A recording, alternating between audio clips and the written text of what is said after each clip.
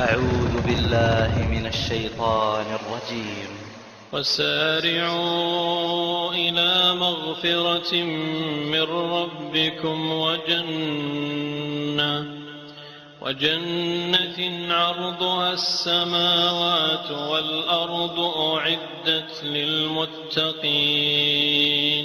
إن نور الحق لن تعيق. هذا سيف الله لن يخفي بريقه يا أيها السرداب فاصرخ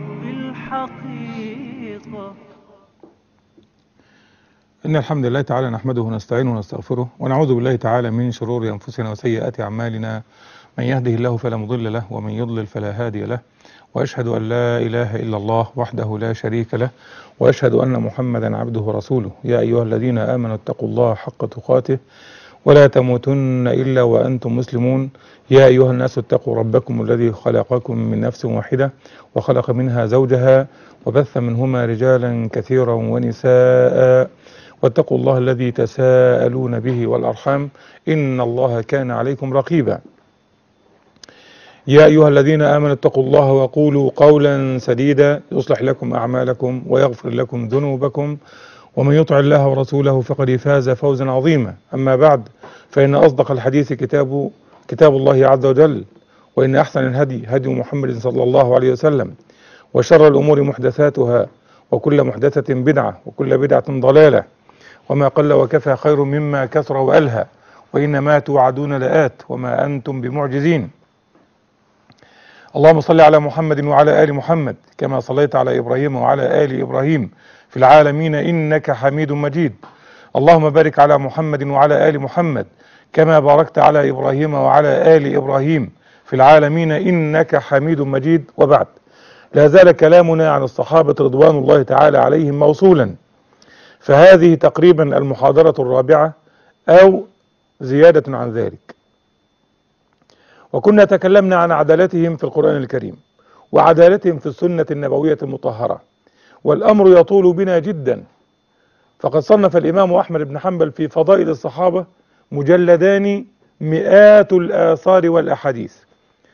وبلا شك أن هذا الكم الهائل من النصوص يصعب علينا سرده وشرحه في مثل هذه اللقاءات السريعة.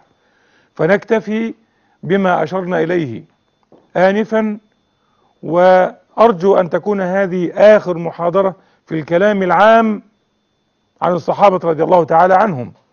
لأنه بعد ذلك في المحاضرة القادمة بإذن الله إن تيسر لنا الأمر في هذه الليلة سندرس فضائل الصحابة من الكتب التسعة. سندرس فضائل الصحابة من الكتب التسعة من البخاري ومسلم والسنن الأربعة ومسند أحمد وسنن الدارمي وموطأ الإمام مالك.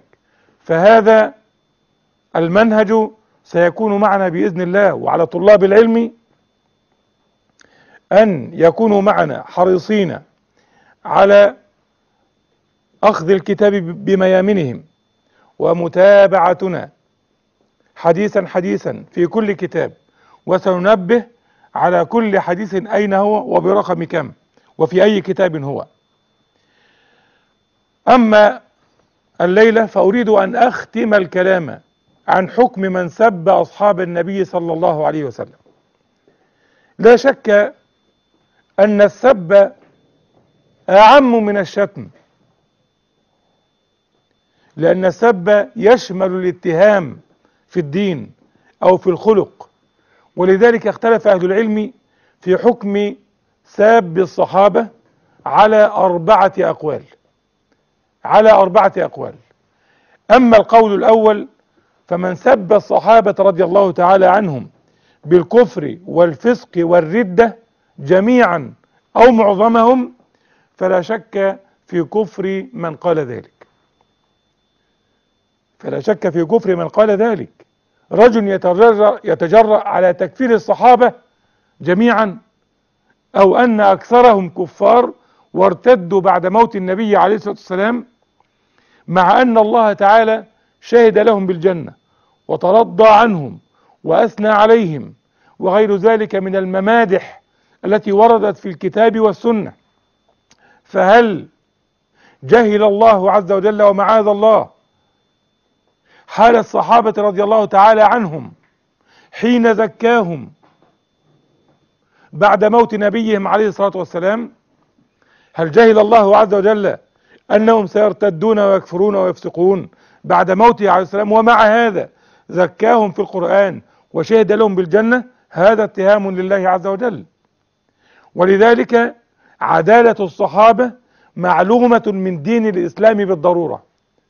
من أنكر ذلك بل من ذهب يسب ويشتم ويكفر ويحكم بالفسق والردة على جل الصحابة أو كل الصحابة إلا نفرا قليلا ونذرا يسيرا كما هو حال الرافضة فإنه لا شك في كفر من قال هذا القول. وهم يبتغون من وراء ذلك ويصبون من وراء ذلك إلى تنحية الشريعة عن واقع أمة الإسلام لأن الطعن في الناقل طعن في المنقول. وهكذا هذا الأسلوب الخبيث الذي درج عليه أعداء الإسلام. حتى هؤلاء الذين ينكرون سنة النبي عليه السلام ما استطاعوا أن ينكروها. لذاتها لأن العلم الحديث عندهم يؤيد ما ينكرونه كل يوم كل يوم. فصاروا يطعنون في النقلة. لأن الطعن في أبي هريرة مثلا أو في عمرو بن العاص أو في عبد الله بن عمرو بن العاص أو في غيرهم من رواة السنة من أصحاب النبي عليه السلام يعد طعنا في المنقول والمروي وشكا في الكتاب نفسه في القرآن نفسه. من الذي نقل إلينا القرآن إلا هم؟ إلا هم فهم الواسطة بيننا وبين صاحب الشريعة صلى الله عليه وعلى آله وصحبه وسلم. فهذا تكذيب لله ورسوله بعد أن ترضى الله تعالى عنهم وأثنى عليهم فهذا تكذيب له سبحانه وتعالى واتهام له بأنه خفي عنه ردة هؤلاء. معاذ الله فإن الله تعالى يعلم ما كان وما سيكون. وفي هذا كذلك إيذاء للرسول عليه الصلاة والسلام. تكفير أصحابه وأزواجه من النساء الطاهرات العفيفات الكريمات العالمات الداعيات إلى الله عز وجل على بصيرة وعلم ونور فيه إيذاء للنبي عليه الصلاة والسلام. ولا شك أن إيذاء النبي كفر بواح كفر بواح. فمن كفر الصحابة وحكم عليهم بالردة والفسق بعد موت النبي عليه الصلاة والسلام وأن هذا حصل لهم فلا شك في كفر من قال ذلك. هذا هو النوع الأول. النوع الثاني من سب بعضهم سبا يطعن في دينهم. يطعن في دينهم. كأن يتهمهم بالكفر والفسق وكان ممن تواترت النصوص على فضله وكماله كالخلفاء الأربعة وزوجات النبي عليه السلام. ومشاهير الصحابة رضي الله تعالى عنهم فهذا كفر بواح لأنه تكذيب لأمر متواتر ومنكر التواتر ومنكر المتواتر. كافر لا شك وهو رد على الله ورسوله الذي حكم بأنهم من أهل الجنة. أو سب عائشة رضي الله تبارك وتعالى عنها بعد أن برأها الله تعالى من فوق سبع سماوات. فلا شك أن من ألصق بها التهمة والفرية لا شك في كفره لأنه يكذب الله تعالى بما برأ به عائشة رضي الله تبارك وتعالى عنها. النوع الثالث من سب صحابيا لم يتواتر هنا لم يتواتر النقل بفضله وكماله.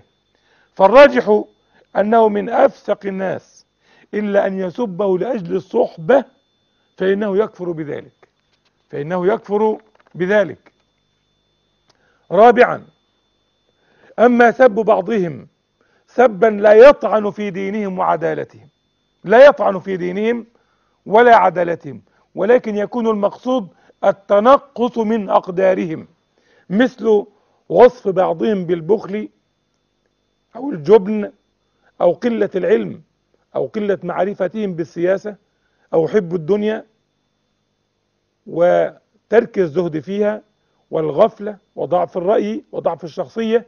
كل هذه التهم كنت أتمنى ألا أجد خلافا بين أهل العلم في تكفير كل من مس ذيل ثوب صحابي من الصحابة.